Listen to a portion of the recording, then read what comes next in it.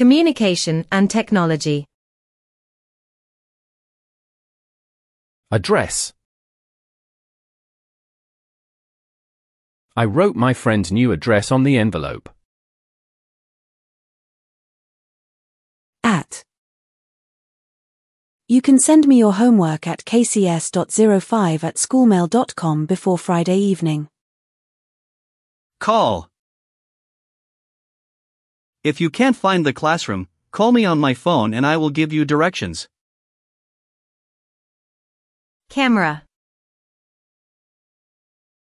She bought a camera to take pictures on her trip to the mountains. CD player. My uncle still has a CD player in his living room, and we listen to old songs on it together. Cell phone. During the train ride, he used his cell phone to take photos and send messages to his friends. Chat. After class, we sat in the park to chat about our favorite games and books. Chat room. Many teenagers go to an English chat room to make friends from other countries. Click. To open the video, just click on the play button with your mouse. Computer memory. I can't save this new game because my computer memory is almost full. Computer.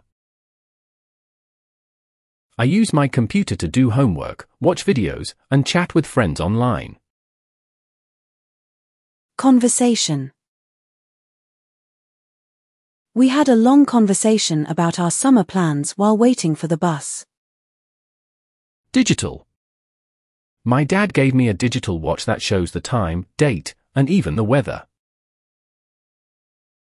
Digital camera. She took her digital camera to the zoo so she could take clear photos of the animals. Dot. You can send me your homework at kcs.05 at schoolmail.com before Friday evening. Download. I downloaded the new game last night. Wanna play with me?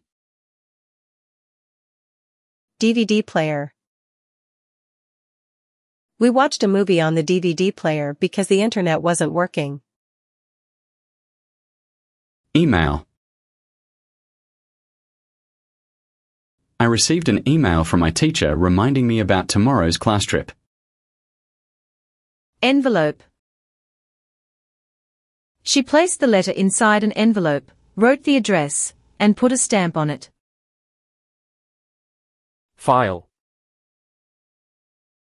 I can't find the file that I worked on last night. That was my homework. Information.